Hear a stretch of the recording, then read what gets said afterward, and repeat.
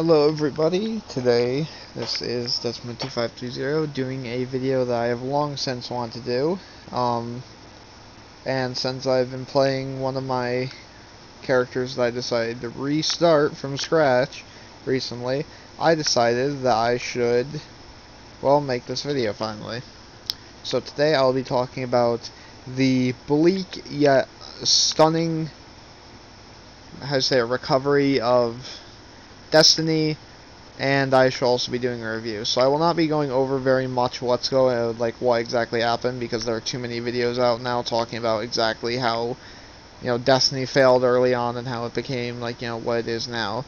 I'm mainly going to talk about the game as it is now, or during my playtime of the game, and talk about it. And for anybody who thinks like, oh, I've never seen you play Destiny, or like, oh, like you know, how how should I know your opinion's valid? Well, I have over 4,400 Grimoire score, which basically anywhere in 4,000 you've made three characters and gotten them pretty much max level. Um, I've played the game for, I think it's almost 300, 400 hours. I've done every single raid, I just haven't, the only one I never completed was King's Fall.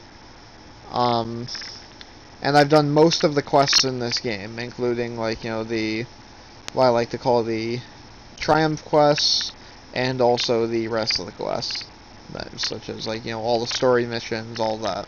So I've done everything that can be functionally done on this game, besides obviously like you know a few specific exotic quests here and there, which those are raid quests and the one raid that I didn't complete. But I have fought the last encounter, so regardless, that should explain why I'm able to talk about this game. Um, I will try to be objective as possible, but I do love this game at the end of the day, so there should there might be a bit of pandering for me.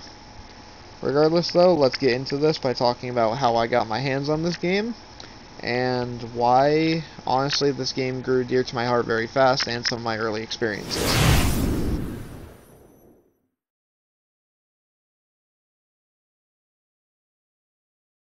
So, where did I begin playing Destiny and how did I get here? So originally my uncle, who I won't name here, um, had this game back in year one and I played it um, orig um, a little bit with him when he was around. Um, that ended up becoming basically my catalyst for playing this game. Namely because I, in the times I did play with him, I was able to unlock Pocket Infinity, pre-patched, and super good advice during both of their exotic quests. Um, when I first actually started getting into Destiny, though, was around the two months after the Taken King launch, which was when I bought the Taken King because a friend of mine, who we may all know from the channel, Chris, um, yeah, he told me, you know, he was playing this game nonstop, and he said, you know, you should definitely get it, bro, and I'm like, sure. So, I got the game, I started playing, and almost instantly I fell in love with it. Um, mainly just because the shooting mechanics and the way the game feels is so good like you never feel like you know anything anything that was missed. You don't feel like you're you actually feel like you're missing. Like just everything just feels so smooth and like polish in the actual gunfights themselves that it honestly makes me feel like I'm like I'm actually shooting it a little bit. Um, but regardless, the biggest issue I had early on was that I couldn't really understand the story very much, which is kind of obvious because the base game story and the first campaign, the um, first DLC story was kind of lacking. But once I got to House of Wolves and The Taken King, which was at the time the newest expansion, that was when things really began to light up.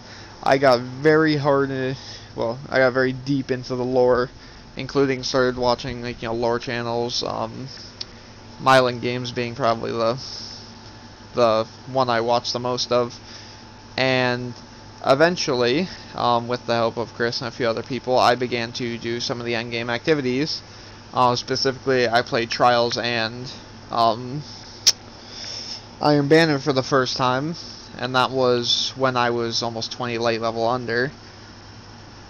And basically, the Taken King, I never got to max level in that in that mode. I barely, I only got to play the raid three times whilst I was even there and that was at the very end of the lifespan of the Taken King. Um, but I played the game a lot still, and then Rise of Iron came, which basically was my walking stone. I I didn't get Rise of Iron until months after it released. I think it was like three or four months because I didn't have the money. Um, eventually I did get it though, as a gift, and I basically min-maxed my way all the way up to play being able to play the raid, which was just at this point still out in um, I believe it was still out in the, uh, what you would call it, the um, the normal mode. I don't remember if hard mode had been released yet or not. Probably did, but I just don't remember it. Um, and then I did the base mode of the raid, which I completed quite easily.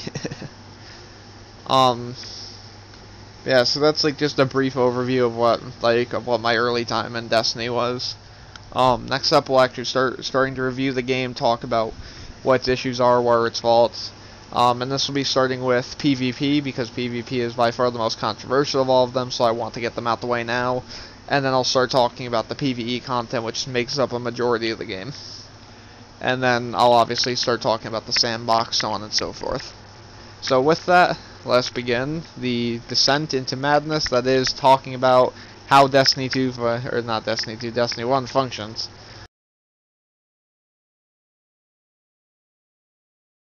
So for those who don't know, the Crucible is the PvP game mode of Destiny. Um, this game mode revolves around three, well, it revolves around a bunch of rotating modes that do different things, namely being um, the two standouts being um, Control and Clash, which is basically TDM. Um, and the way that the game works is instead of running off of the standard get X amount of kills or get X amount of points, you know, just capturing objectives, they opted for kills and objectives matter. So basically, getting kills while you have more objective gives you more score, at least in control, and so on and so forth.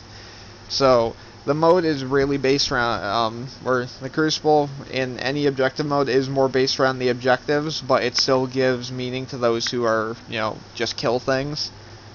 Um, PvP is generally 6v6, I believe it is. Um, I have seen bigger lobbies, obviously, and you can have custom games, which can, which I've seen increase the number on each team. Aside from that, however, um, the Crucible is pretty much your standard, um, just your standard PvP mode for any game. Basically, it's just like if you took Call of Duty but translated it over to Destiny. Um, Destiny itself, with this, kind of makes it unique though, because in-game, and I'll talk about, you know, the specific modes like Trials and that in a second, but, um, every weapon is then, is, um, standardized. So what that means is, is that based on rate of fire, and, um, yeah, rate of fire, mostly, um, they categorize what damage your weapon does and so on and so forth. So the weapon functions the exact same as it would in PvE, but the difference is that the weapon damage they do is ba is based on what um what their fire rates are. So in this case, you have archetypes of weapons, which basically they all fall around the same fire rates.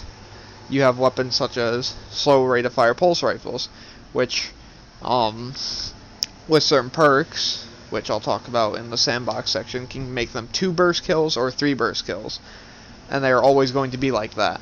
As where you go and look at a medium RPM pulse rifle, it takes around anywhere between 3 to 4 bursts to kill. So on and so forth. And with that, you kind of see how it works.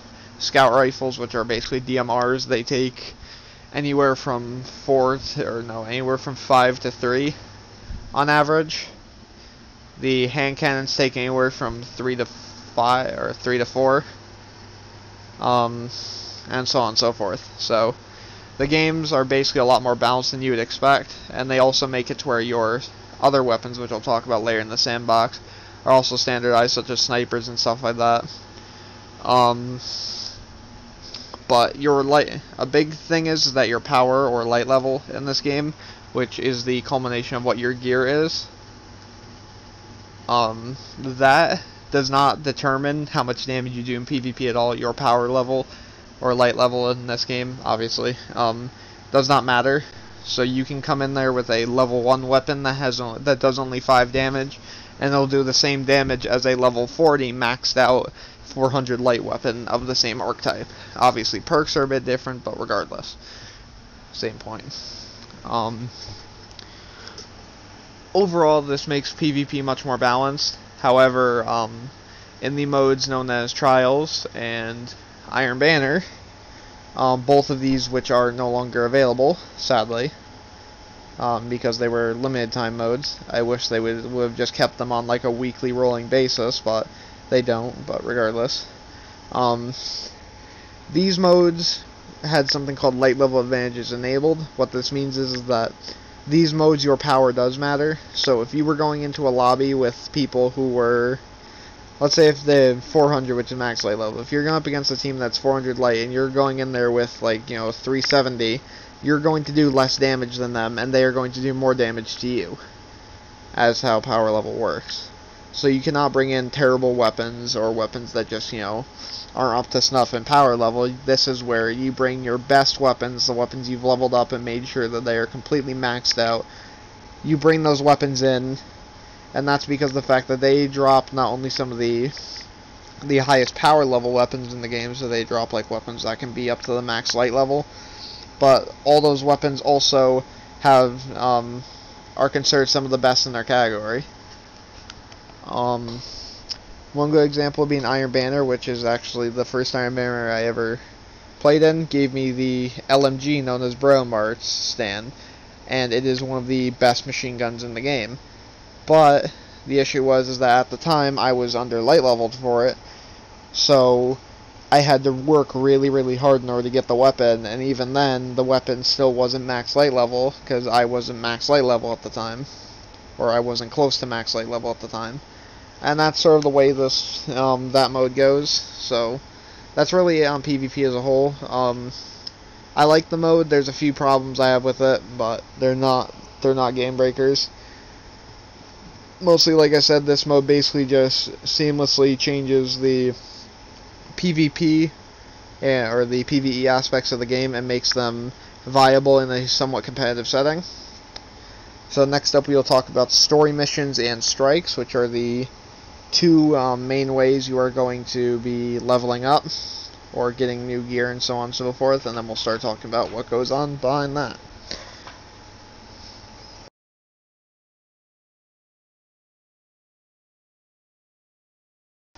Okay, so PvE content namely starts with um, story missions. This is how you basically progress through the game.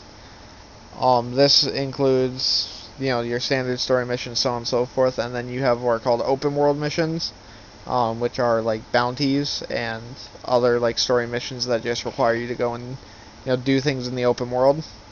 So I'll get into that in a minute, but simply put, um, you can go into the open world at any time doing a what is called a patrol, and these patrols can give you bounties to do in the actual system, as well as you can also obtain bounties for PvP and other things um, by talking to vendors and such like that in the tower, which is the main social space, and or the um, Felwinter Peak, but regardless. So mainly what happens is, is that you talk to these people, you talk to the people that give you quests, so on and so forth, the characters, and then they give you your quests, they give you whatever bounties maybe you may need, and then you go and do them. Like I said, some of them require you going out the open world and completing events or killing you know waves of enemies. Others make you go through a narrative-driven story mission, such as like you know you're hunting down this one dude that you know is a big issue and you have to you know the entire like an entire chain of like two to three missions is just you hunting him um generally story missions don't give you that much although some missions especially in the taken king do give you some good things. Um at the end of the rise of iron campaign you are given a um, exotic sword. Um, though it's a bad exotic sword they still give you one.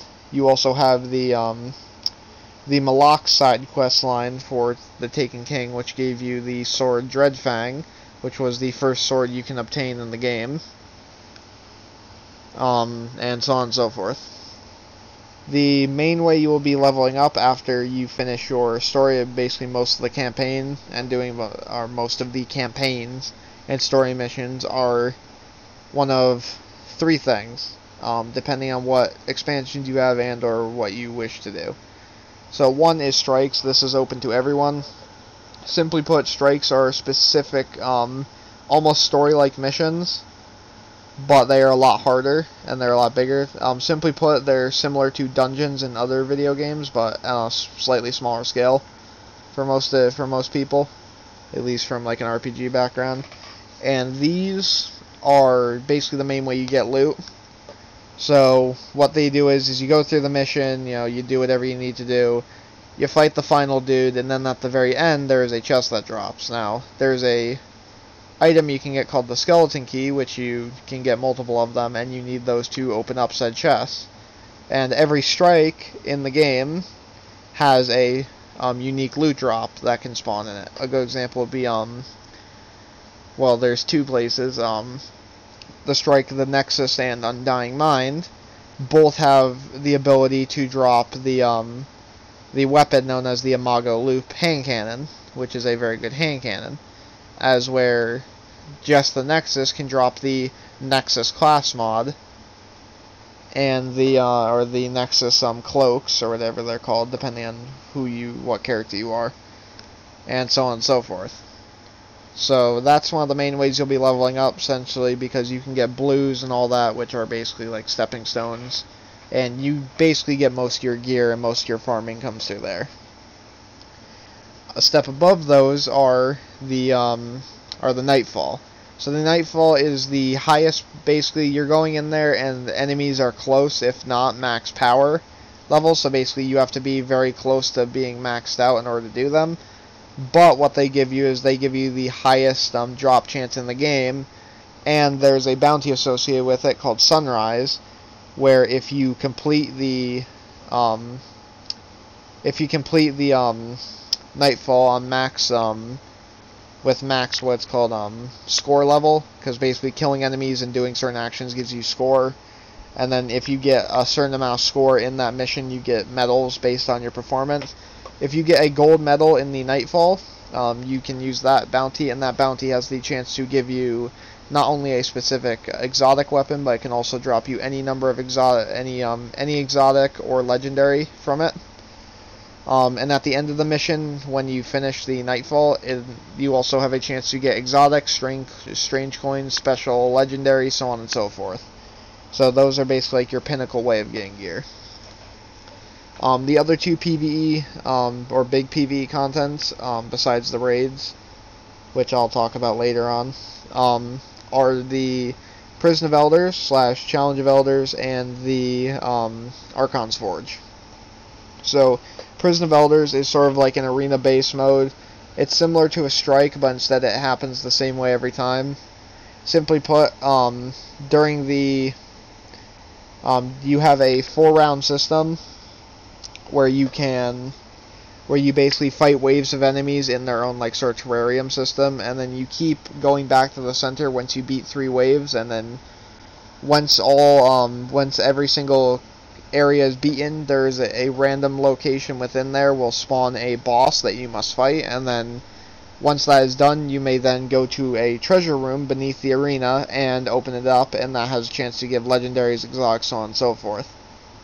Um, Challenge of Elders is similar, but instead of doing it like that, they make it to where you face, um, every round you face bosses, and you only face three of them, and what you are trying to do is get the most score possible, because the more score you get, the better chances you get of getting um, certain items. And you also gain a um, you also get bounties, which can drop you legendary weapons and gear specific to that mode. Finally, we'll go over Archon's Forge. This is a basically it's a mode where you put in an item that drops throughout the Plaguelands, which is the area where the um, the Rise of Iron campaign takes place. You put the item in, you fight dudes, you kill the boss when the boss spawns. You get loot.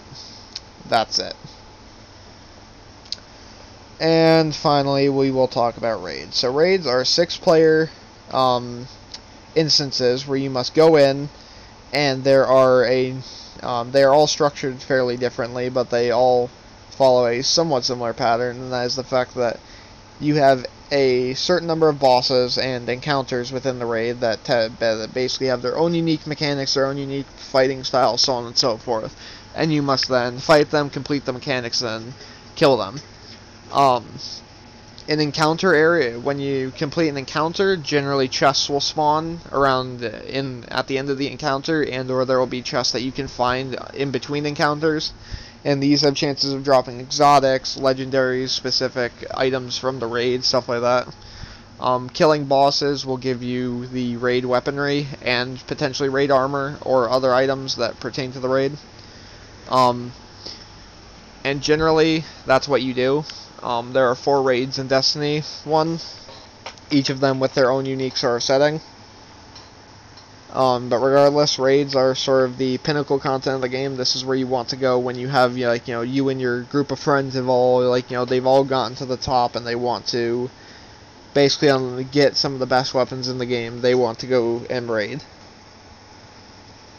Okay, so for the final review before, or the final explanation before I go into um, what I dislike and what I think is right and what I think was wrong about the game.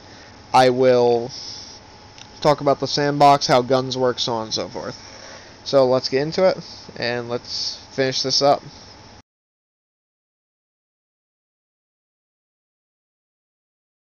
Okay, so now we get to the most important part of the game, which is the sandbox and overall the core mechanics. So simply put, there is uh, multiple different types of weapons within the game. Pulse rifles, which are burst fire rifles that do good damage at medium range.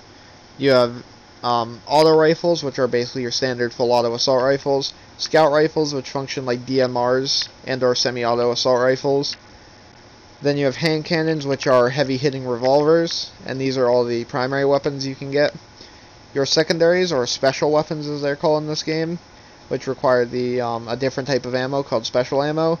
These involve sidearms, which are basically like you know standard pistols, um, sniper rifles, shotguns, a fusion rifle, which is a charged up. Um, it's basically like a shotgun that charges up before it fires, but it does more damage and has better range, and they shoot like plasma. Um, then you have um, in the heavy category, which is basically like power weapons. Uh, basically, they're like your big, heavy hitting weapons, but they drop the least ammo, or their ammos drop the least often and the least amount. These include LMGs, swords, and rocket launchers. Um, now, there are certain weapons that break this mold, like um, exotics. There is an exotic um, shotgun which can be equipped in the primary slot. There is an exotic fusion rifle that is a heavy weapon, so on and so forth. But generally, this is how it works. Um, as for, well, as for the rest of it, I'll talk about characters now. Um, there are three characters in the game, Warlock, Titan, and Hunter. Um, you will only see Warlock gameplay here because I was leveling up my Warlock at the time I was recording all this. Um, and each of them have their own strengths and weaknesses, as well as each um, character has um, three subclasses to it based on the three elements void, arc, and solar. These are basically fire, electricity, and like I guess you'd call it like I don't know, like black hole energy. I guess would be the closest you can equate to void. Um, but effectively, each subclass has their own super, which is basically like an ultimate in other video games, like character-based video games. Each of them have their own choice of three unique grenades for their own subclass, so nine grenades in total for each, um, because of all these. And then finally, to finish off, we have the, um, we have what is the final thing about them, and that is that each one has their own skill tree, which do certain things. Um, you'll see a sneak, a sneak peep of it here. You have to level up the subclass to get more stuff, and I guess I'll go over what these subclasses are.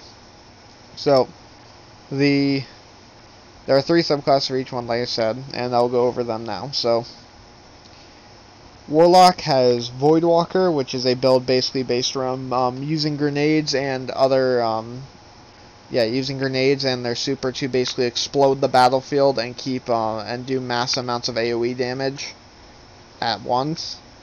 Solar is um, called um, Sunsinger. This build bases around using um, damage over time effects with solar grenade, uh, with um, fire grenades, as well as um, supporting the team through the use through the use of radiance, which allows them to um, which allows them to basically um, increase the charge rate of all their abilities by a shit ton, as well as give them a bit of extra health and armor whilst it's active. Um, they also have abilities to allow them to res from the dead using the ability, stuff like that. Um, the Voidwalker, I forgot to mention, its ultimate is a massive bomb that explodes and disintegrates anything it touches. And then finally we have, um, it's not Arc Strider, um, Storm Trance, yeah, it's, well, the ability is called Storm Trance, I forget what the exact, um, subclass name is. But simply put, you, you're based around Chain Lightning and making sure that you are basically flowing like a storm, basically. And your ultimate is a is a massive um you become basically Emperor Palpatine but floating. So you basically float around with increased movement speed and you get to chain lightning between people consistently like a um, full auto basically it's full auto chain lightning is the closest I can explain it to. Um, you also gain bonus armor and stuff like that whilst it's active. Um, to go on to the Titan, you have Striker, which basically are based around being in the fray, punching, meleeing, and your big ability, which is called Fist of Havoc, you slam the ground, sort of like gravity spikes in Call of Duty if you've ever seen them, and unleash a massive arc, which is electricity, um, explosion around you that basically blows up anything near it. Um, Defender, um, is the Void one. Simply put, you are based around keeping yourself alive. You're meant to basically tank damage a bit, and then your your ultimate allows you to um, create a bubble that provides buffs for you and your teammates while they're either in it or they pass through it, as well as obviously like you know protect from damage and so on and so stuff while you're in it. Um, the final subclass is called um, Sunbreaker. This is a class basically based around um, chaining ability, chaining fire abilities together, as well as their their ultimate being um, a hammer that they invoke that they can continue throwing, and they explode in for in basically solar energy. Um, so yeah, that's Titan. It's overall they're the most easy to understand. Finally, we have Hunters, which have their three. Um, gun. I think it's gunslinger. Yeah, um, gunslinger. They're based around getting precision, basically getting um, precision shots, so headshots, so on stuff like that, as well as doing um, as well. as, Well, basically, they're just meant on being precise and making sure they always hit their shots. Um, that's their main thing, and their ultimate is called the Golden Gun. Simply put, they pull out a soldier, a solar charged hand cannon that basically obliterates anything that that obliterates whatever it shoots at, and you get three shots with it, or four if you have like a special um a special um exotic, but and it does massive damage to things that won't get one shot by it. And it's simply put, it's a precision weapon that as long as you hit the target, you kill them 90% of the time, unless they're obviously a boss or like a major or something like that. And then, um, or they deal massive damage. Next up is the Blade Dancer. Um, this is the electric slash arc subclass. This subclass um, is based around stealth to an extent. Simply put, they have a lot of abilities based around being stealthy, being very fast. Um, abilities such as fast hands that make you swap weapons faster. Um, there's another ability which allows you to stealth when you've been crouched for a certain duration. Um, another, um, well, their ultimate consists of a blade that they pull out that is charged with arc energy, and when it hits targets, it disintegrates them with arc. So basically, they die, they turn into electricity, and their whole um, abilities with that are based around either making it do um, better damage against multiple people or making it to where they can um, continue their rampage with the blade for much longer. The final subclass that we'll be talking about is the Night Stalker. This is the hunter, sort of as you would expect. Um, based around tracking and holding down areas in very um, in very bad situations, um, such as having smoke that does da corrosive damage to those who run through it, or ba or basically they poison enemies while they run through it. um, grenades that stay alive longer. They have the ability to cloak um, on demand while moving, and then can move around with it. And their final ability, which is very, very on theme for them, probably the most on theme in all of them, of all of them, is the um, what we like to call the shadow shot. Now this is a bow that gets shot. Um, it can have one or three rounds depending on what abilities you put on it. And um, the ability which you see right there, shadow shot, um, is a bow that fires one to three shots. And what this does is, is that it hits a target. Um, if it hits a target, it is an insta kill. Um, unless they're also in a super and then it what it does is it tethers and suppresses enemies. So suppression means they can no longer use abilities, um, and they take um, yeah they cannot use abilities and they're basically sitting ducks. And they also have a um, a slight filter over their screen to make it harder to see. And the tether effect makes it to where they are stuck to the um, to the tether, meaning that they move slower and obviously they stay suppressed for as long as the tether's on them and a couple seconds afterwards. So that is all the subclasses. Um, next we'll go on to the weapons. So every weapon has a power level as displayed on the weapon as well as they're all a part of one of these weapons I talked about earlier. Um, there are also archetypes within those weapons that do, um, you know, increasing fire rate or increasing damage, lowering fire rate, so on and so forth. Um, and each weapon can spawn with a certain set of perks.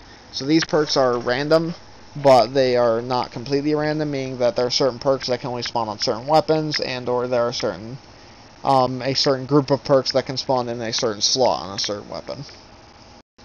These perks can range from anything such as getting more damage upon getting kills. Um, others can be such as delay such as reloading faster, having increased stability.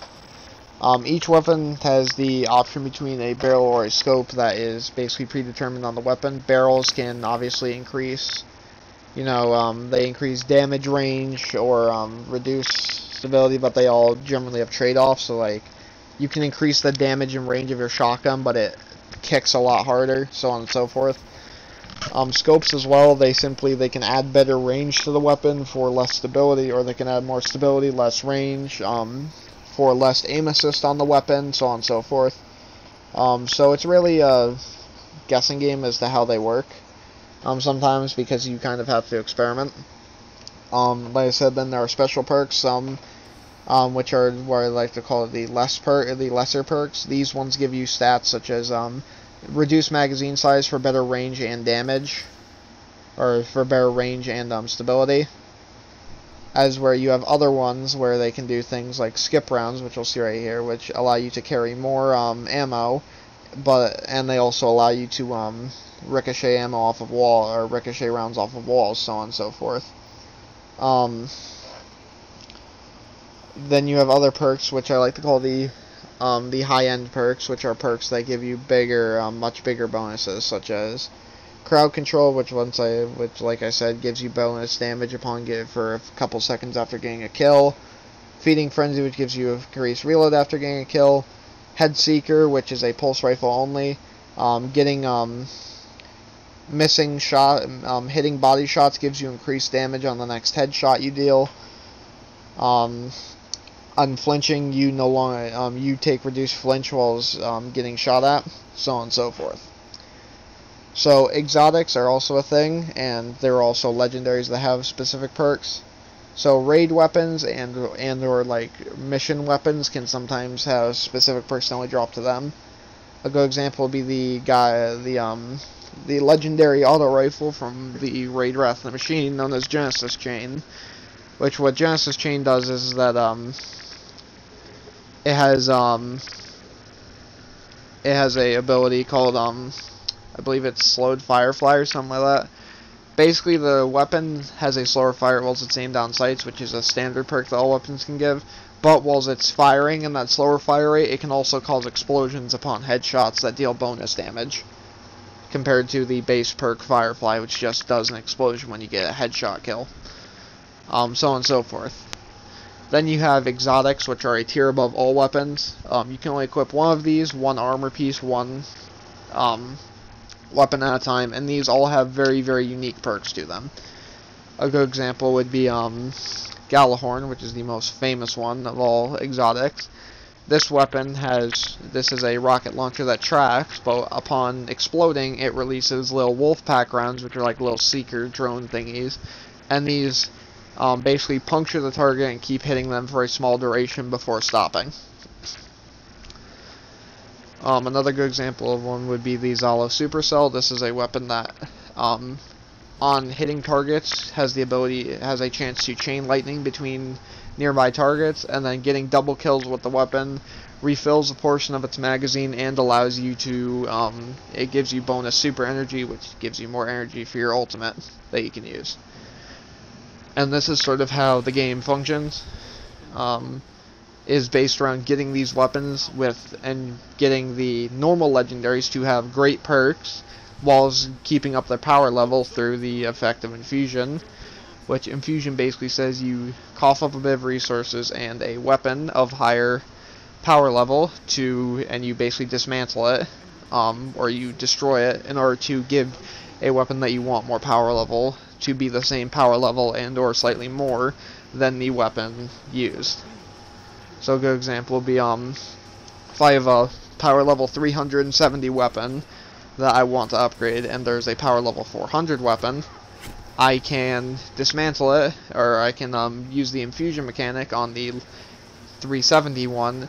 It will get rid of the 400 power level item, but it will give make my the weapon I had now be power level 400 and that's how that's similar to how the sand that's pretty much how the sandbox works. Um, this is very very condensed by the way guys so obviously there's a lot more that I'm not going over but this is just a base overview of it. And so finally I will do the finishing touch which is I shall talk about what I like about this game what I dislike about this game and somewhat of its rocky past Okay guys, for the final stretch I'll talk about what are some of my criticisms of this game and quite a few, and there are quite a few, um, and this is what makes this game not for all players. So firstly, we'll talk about raiding. Simply put, it is very difficult to find a raid on this game nowadays, and with the fact of Trials and Iron Banner being gone, most content is relegated to you doing strikes and or having, you know, just one or two friends help you out do some of the other endgame content. So a lot of the content that has made Destiny great no longer is available to a good chunk of the player base, which is quite sad. Um, that is the biggest criticism I have, at least now. The rest of them are old criticisms that obviously have never been addressed. Um, the biggest criticism I'll talk about is mission design slash storytelling. Oh my god, y'all are gonna love this. So, the biggest criticism of any Destiny player to this game is a lack of good functional storytelling. Um, simply put, up until The Taken King, there has not been one insanely good story arc or story made in game.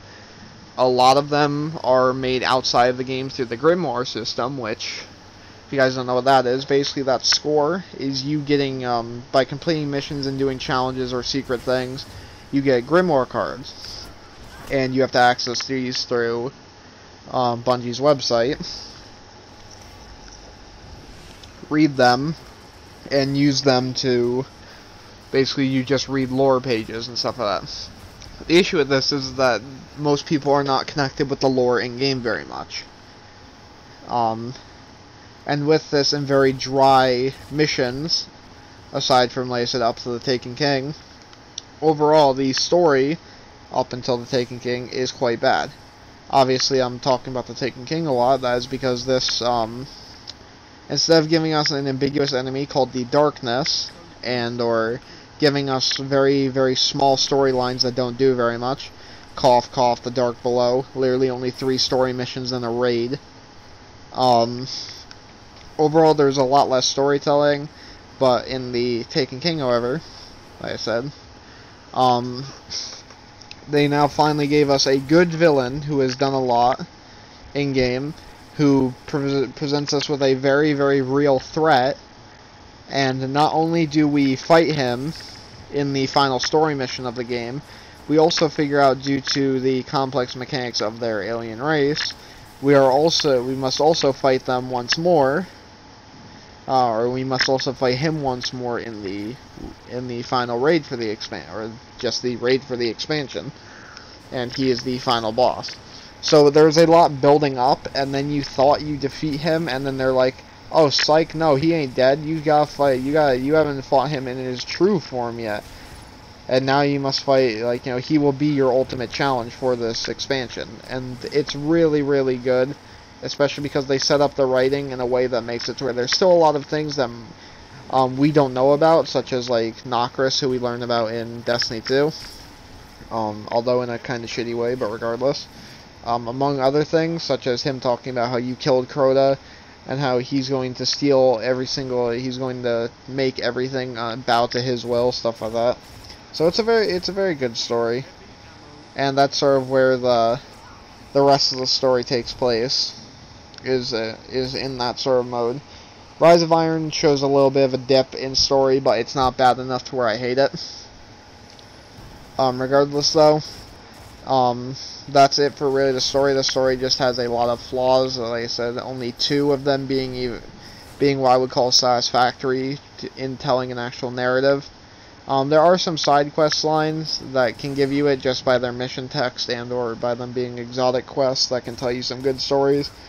Um, my two favorites being Gjallarhorn and um, No Time to Explain because they teach you about characters in the story as well as giving you an actual like they give you like a legitimate challenge in trying to get the weapon. Um, another good one is the Khvostov, which basically harkens back to the very beginning of the game, giving you some sort of nostalgia.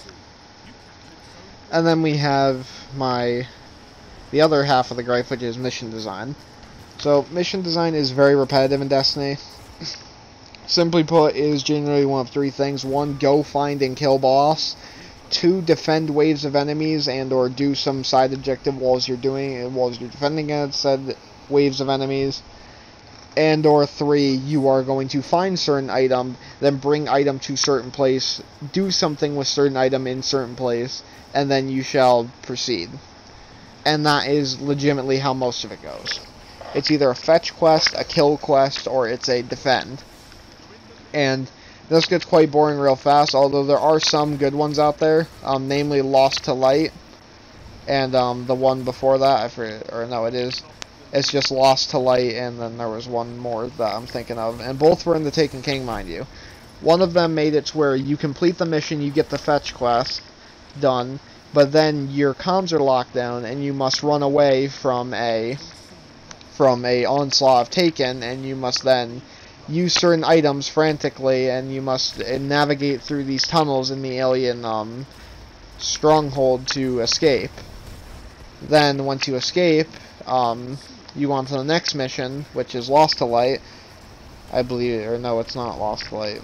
It might, no, it's um, Ascendancy or something like that. But basically, in that mission, you are stealth for the entire for the entirety of the mission. So basically, you are cloaked and you must avoid um, you must avoid being um, smelled out by the aliens so therefore you must you know dodge and weave and like you know solve through the puzzles of what was actually a raid location then once you get there you must collect the essence of one of the raid bosses you canonically kill in the storyline then you must hold out as and uh, as you are found out and a massive horde is unleashed against you that is way too powerful for you.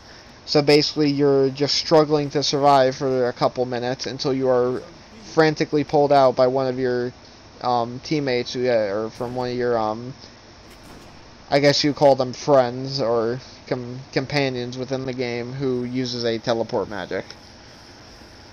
So like I said, there are some good missions in here. The strikes are a lot better than most of the others, but generally the average storytelling and mission design is very bland and very annoying.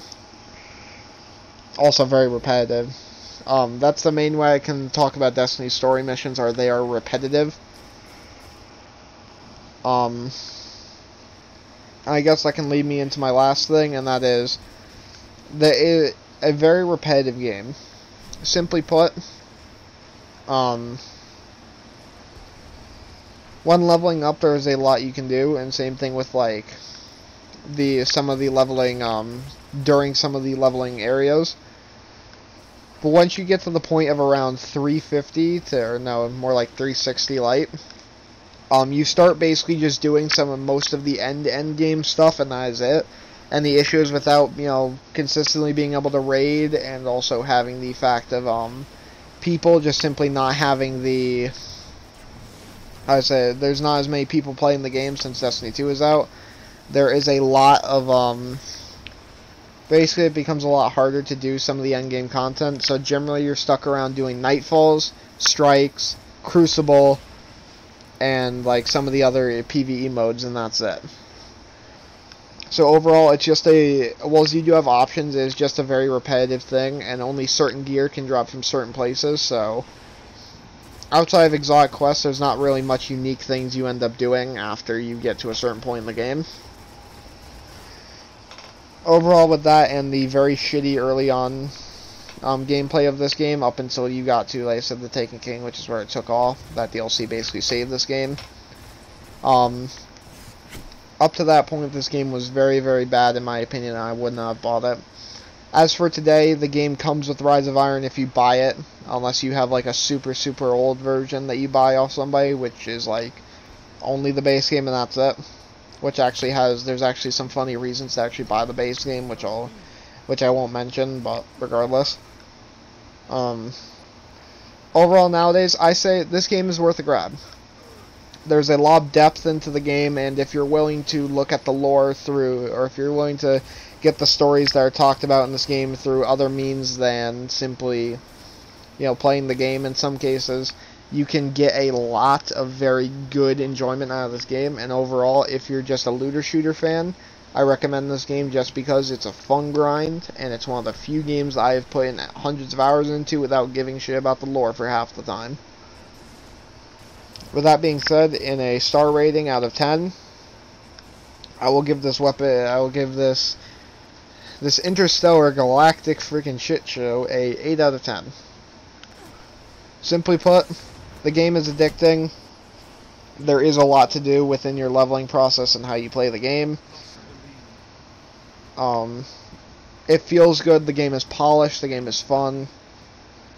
And whilst it does have repetitiveness issues and story time issues, overall the the interesting gameplay loop of this game allows you to look past that in very many cases and still play the game very well.